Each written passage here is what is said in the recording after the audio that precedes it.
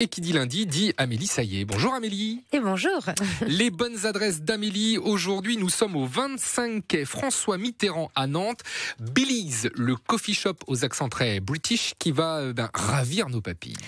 Exactement. Alors Billy's, c'est une création de Marion. Euh, il y a deux ans et demi, en fait, elle a eu un parcours hôtelier à Londres et euh, de cette expérience, elle en a tiré pas mal d'enseignements et elle a travaillé donc dans un coffee shop. Du coup, elle s'est dit à mon retour en France, je crée moi aussi un coffee shop à la manière anglaise, un peu euh, comme si on était à la maison en fait finalement, un lieu cocooning accessible, donc 100% british. Ouais, donc c'est un peu du plagiat, non? Non, je plaisante, je plaisante. Alors si on parle de lieux accessibles, on imagine qu'on peut y manger à, n'importe quel moment, euh, Amélie. Alors c'est bien ça. Alors en fait, euh, vous allez y aller du petit-déj au brunch, au déjeuner, au goûter. C'est un esprit vraiment à la cool. Imaginez des gros fauteuils, des grosses tables de banquet, euh, des petites tables, des petits fauteuils, de la vaisselle dépareillée, plein de tableaux au mur, bref, de quoi vous sentir bien. Ouais. Et on a bien en tête le côté donc so british, donc le petit déjeuner qu'on imagine, très chargé quoi. Oh, chargé, on va dire varié. Varié, varié c'est mieux que chargé. C'est vrai que ça, ça se vend mieux. Riche peut-être. Riche. en effet, les croissants aux œufs brouillés, les grilled cheese, les scones. Alors ça, euh, c'est servi entre 10h01 et 11h29. Ils sont un peu marrants euh, chez Billy's.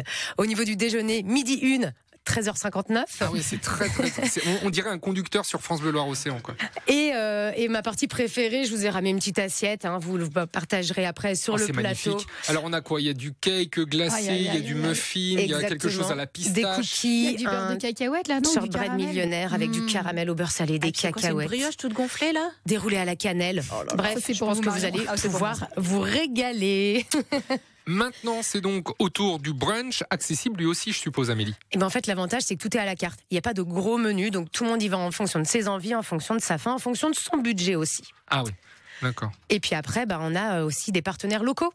On a euh, les yeux de Biodivat, les fruits et les légumes de Talensac, le fromage de chez Bayvert. Bref, on en passe. On adore le côté local également. C'est un peu comme si vous étiez en direct de chez vous et de votre jardin. D'ailleurs, côté événementiel, n'hésitez pas à faire des petits shootings photos, à venir exposer tout ça. Donc, il y a des événements chaque mois donc dans ce euh, dans cette adresse. Exactement. Donc, en face de la Loire, entre le Point de Bretagne et le Pays de Justice pour les Nantais. Et en effet, sur son Instagram, elle mettra l'intégralité des événements. D'accord tous les événements. On a les photos des, plats euh, pour nous ah, tout, donner tout, pour euh, vous donner envie, évidemment.